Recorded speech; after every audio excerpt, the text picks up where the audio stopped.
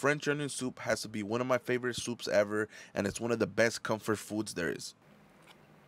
Beef bones. Spray them with some oil, a little bit of salt, and black pepper. Into the oven at 475 degrees until completely roasted. Large pot, beef bones.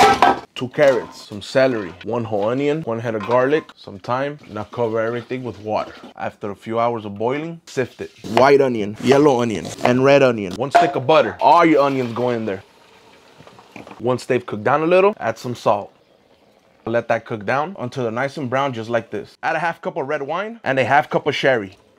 Reduce that, now pour in that beef stock. Go in there with some bay leaves, season with a little bit of some Worcestershire sauce, and salt to taste. Soup is now done. Serve yourself up some soup. Top it off with some toasted baguettes, some shredded Gruyere cheese, and into the oven until completely melted.